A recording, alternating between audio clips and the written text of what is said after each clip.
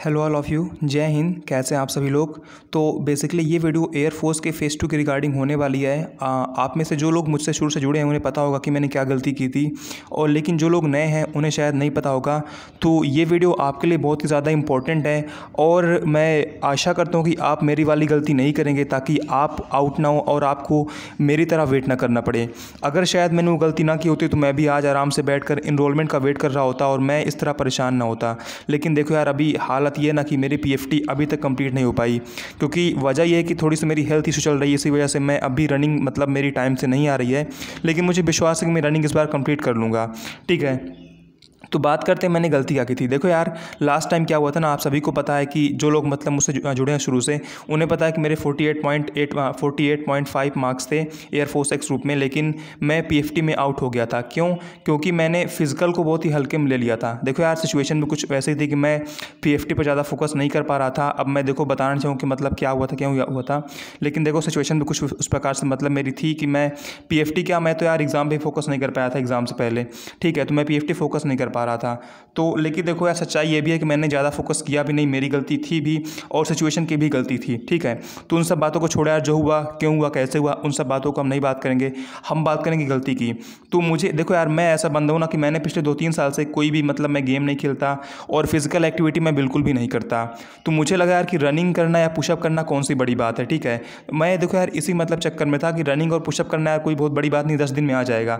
और इसीलिए मैं बिल्कुल से भी रनिंग या पुशअप पर ध्यान नहीं दे पा रहा था और दे भी नहीं रहा था और कुछ उस प्रकार से उस वक्त हालात भी थे कि मैं ज़्यादा ध्यान दे भी नहीं पा रहा था, लेकिन मैं ध्यान देता तो मैं ध्यान दे सकता था। ठीक है? तो हुआ क्या ना कि जब मेरा फेस टू हुआ तो उस वक्त मेरा पुशअप कंप्लीट नहीं था। आपको पता है कि लास्ट टाइम कदम ताल हुआ था रनिंग नहीं हुई थी, और इसीलिए पुशअप में थोड़ा ज़्यादा बंदों को छाट रहे थे। मेरा फेस टू उन्नीस जनवरी को था और क्या हुआ था ना कि शुरू में थोड़ा सा वो आसान ले रहे थे, लेकिन धीरे धीरे जैसे डेट आगे बढ़ रही थी, वो वो मतलब पीएफटी को थोड़ा हार्ड करते जा रहे थे, ठीक है? अब फ़िलहाल देखो यार टेन एस बीटा तो देखो यार ईजी होता है, अगर देखो सच बताऊँ तो। और वहाँ पर देखो ईजी ही था, देखो अगर मैं अपना सच बताऊँ तो जो देखो सच्चाई थी। देखो मैंने वहाँ पर गलती की ना, मैंने वहाँ पर नौ पुशअप मार लिए थे। भाई मुझे दसवें पुशअप में वहाँ पर आउट किया गया था। देखो मैंने ये बात आज तक किसी से भी नहीं बोली, जो मतलब मेरे आसपास के लोग हैं। क्योंकि यार देखो, अगर ये बात आप बोलोगे ना तो लोग कहेंगे यार बहाना बना रही है पुशअप मार ही नहीं पाया। लेकिन देखो सच्चाई भाई, यही थी कि पहली बार मैंने नौ पुशअप मार लिए थे बिल्कुल अच्छे से और दसवें मुझे आउट किया गया और उसने आउट क्यों किया? क्योंकि मैं यार ना उठने में थोड़ा स्ट्रगल टाइप कर रहा था। आपको पता है ना कि जैसे आप जब थक जाते हो, आपके हाथ कांपने लगते हैं तो उठने में आपको थोड़ी दिक्कत होती है। जैसे मतलब आप थोड़ा टाइम लेते हो ना उठने में, बस मैं वही कर रहा था और उन्होंने मुझे वहाँ पर उठा लिया।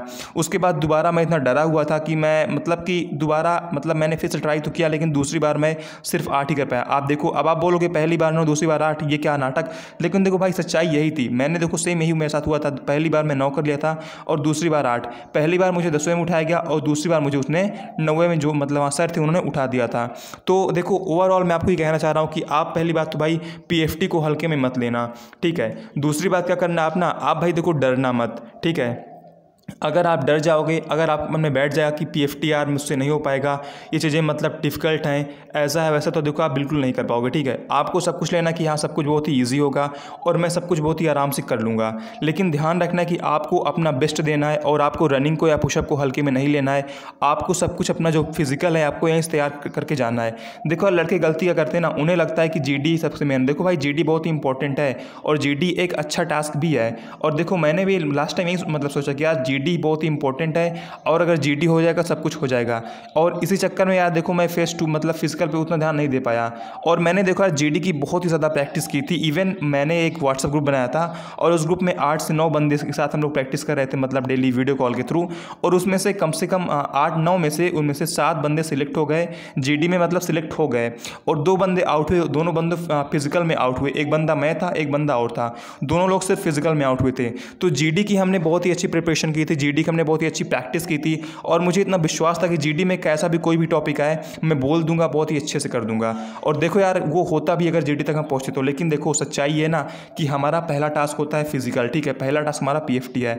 तो आपको ध्यान देना कि आपको पहले पीएफटी फोकस करना है। आपका भी पहला काम है कि आप पहला पीएफटी क्लियर करो, फिर आप एसआरटी क्लियर करो, फिर आप जीडी फोकस करो। मैं ये नहीं कह रहा कि आप जीडी फोकस मत करो। आप जीडी फोकस करो, लेकिन देखो यार पीएफटी का टाइम आपका अलग होता है, ठीक है? जीडी का टाइम आपका अलग होता है। जीडी आप देखो यार दोपहर में कर सकते हो पीएफटी आपको सुबह शाम करनी होती है तो पीएफटी पे आप सुबह शाम फोकस करो और जीडी में आपको दोपहर फोकस करो। लेकिन भाई देखो, एक ही बात कहूँगा मैं, आपका पहला टास्क पीएफटी आता है देन आपका एसआरटी आता है, उसके बाद आपका जीडी आता है, ठीक है? तो आपको तीनों तैयार करना है, आपको किसी को भी हल्के में नहीं लेना है। अगर बात करें भाई एसआरटी की ना तो हर साल एसआरटी में दो तीन बंदे आउट हो जाते हैं मतलब हर दिन। मतलब कभी कभी एक बंदा, कभी दो बंदा तो कभी कभी चार से पाँच बंदे भी आउट हो जाते हैं। और भाई अगर एसआरटी में इतने बंदे आउट होते हैं ना तो भाई ये बहुत ही बड़ा नंबर ठीक है? चार पाँच बंदे ना, ये बहुत ही बड़ा नंबर है। कोई छोटा मोटा नंबर नहीं है।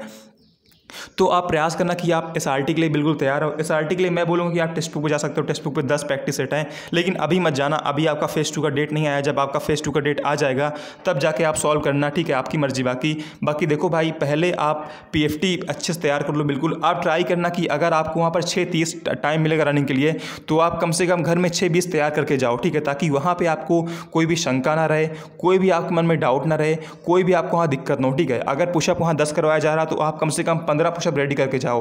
होल्ड करके पुशअप को मारना, ठीक है? देखो ट्राई करना कि आप पुशअप को कम से कम तीन सेकंड होल्ड करके कर लिया करो, ठीक है? क्योंकि यार देखो, क्या हो रहा था ना कि पिछली बार पुशअप में देखो होल्ड करवा रहे थे, ठीक है? अब देखो यार मतलब टेन एस सी बीटम ज़्यादा होल्ड तो नहीं करवा रहे थे, लेकिन फिर भी वहाँ भी देखो यार, जो मेरा ग्रुप था, देखो बेसिकली वहाँ होता क्या है कि वहाँ पर दो ग्रुप में डिवाइड कर देते हैं, ठीक है? जब पुशअप मतलब हो रहा था हम लोग का तो उन्होंने दो ग्रुप में डिवाइड कर दिया था। तो देखो यार, पहले ग्रुप का मुझे नहीं पता, लेकिन मेरा सेकंड ग्रुप में था, उसमें देखो यार, थोड़ा बहुत होल्ड करवा रहे थे, ठीक? करीब तीन चार सेकंड तक होल्ड करवा रहे थे। तो यार देखो आप होल्ड करके प्रैक्टिस कर लेना। जो लोग कहते हैं होल्ड नहीं करवाते, ऐसे नहीं वैसे। भाई देखो यार होल्ड करवाते हैं और आपको होल्ड करके प्रैक्टिस कर लेनी, ठीक है? आपको देखो यार, किसी किसी भी चीज़ में ढील नहीं देना है। और एक बात ये भी कि आप देखो यार टाइम से पहुँच जाना। उस दिन एक बंदा ऐसा भी था जो टाइम से नहीं पहुँच पाया था। सॉरी वो करीब वहाँ पहुँचा था करीब साढ़े छः बजे। फिर भी उन्होंने उसको एंट्री दी थी क्योंकि क्योंकि यार देखो होता क्या है ना कि एयरफोर्स वाले काफ़ी पोलाइट होते हैं तो उन्होंने उसको एंट्री दे दी थी। लेकिन यार अब साढ़े छः बजे क्या होता ना पी एफ़ टी कंप्लीट हो चुका था और हम लोग सब लोग बैठे हुए थे तो उस बंदों को बैठाया गया था, ठीक है? तो यार देखो, करीब साढ़े छः बजे वो पहुँचा तो उसको फिर यार देखो मौका नहीं दिया गया।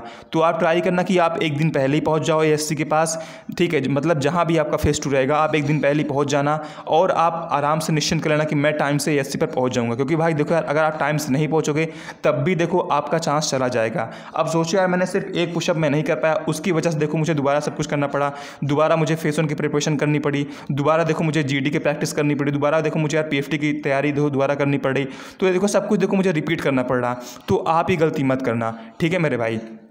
बाकी यार देखो जीडी को हल्के मत लेना, आप जीडी देखो यार, बहुत टफ नहीं होता जीडी देखो आसानी होता है। अगर आप जीडी की अच्छे से प्रैक्टिस कर लोगे घर में ना, अगर आपके पास कोई प्रैक्टिस करने के लिए नहीं तो आप अकेली प्रैक्टिस करो। या आप तीन चार दोस्त मिलकर एक ग्रुप बना लो, आप उसमें प्रैक्टिस करो व्हाट्सअप कॉल के थ्रू तो यार देखो, आप जीडी बहुत ही आराम से क्वालिफाई कर लोगे। बस शर्त इतनी कि आप डेली बोलने की प्रैक्टिस करते रहो, ठीक है? आप डेली इंग्लिश में बोलने की प्रैक्टिस करते रहो। बाकी भाई सब कुछ अच्छा हो गया, आप कोई टेंशन मत लेना।